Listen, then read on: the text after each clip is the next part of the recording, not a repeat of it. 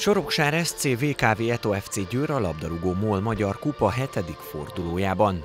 Két másodosztályú csapat találkozott a legjobb 32 közé jutásért.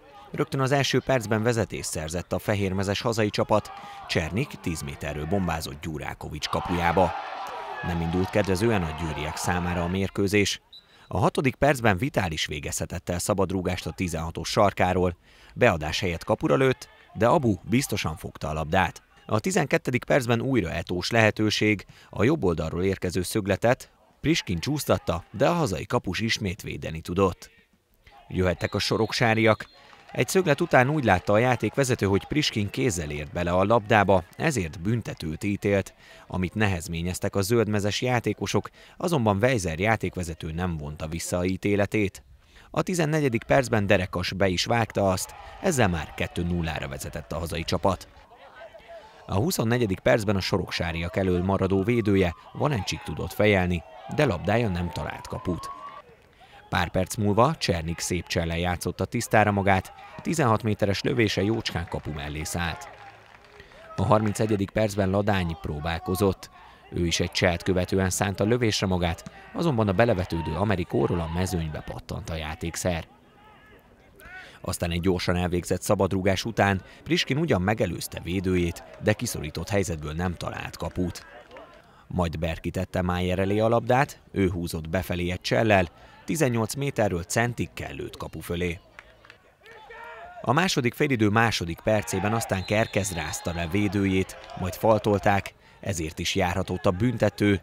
Vezzer játékvezető most is magabiztosan mutatott a 11-es pontra, ahova Priskin helyezte le a labdát, és nem is hibázott. Abu kapus még az irányt sem találta el. Priskin büntetőből szerzett góljával 2-1-re álltak a csapatok. Nem sokkal később a cserejátékos Erdei ugratta kiváló ütemben a gólszerzőnket, azonban a visszaérő Valencsik belelépett a lövésbe, majd Berki ismételt volna, de az ő próbálkozását is blokkolták.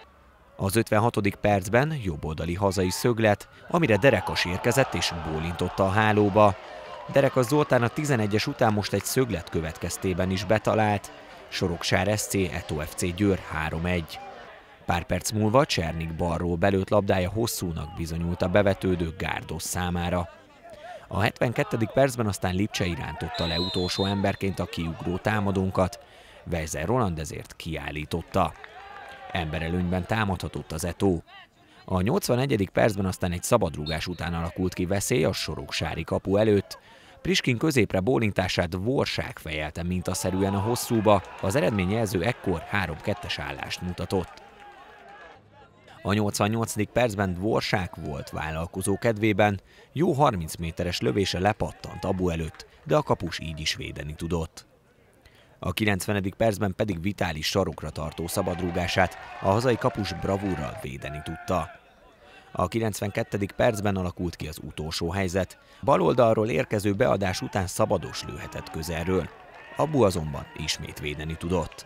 A vége Soroksár SC VKV Eto FC Győr 3-2, a következő körre Lipcsei Péter együttese jutott tovább, az Eto legközelebb a DVSC otthonában szerepel, a labdarúgó MB2-ben.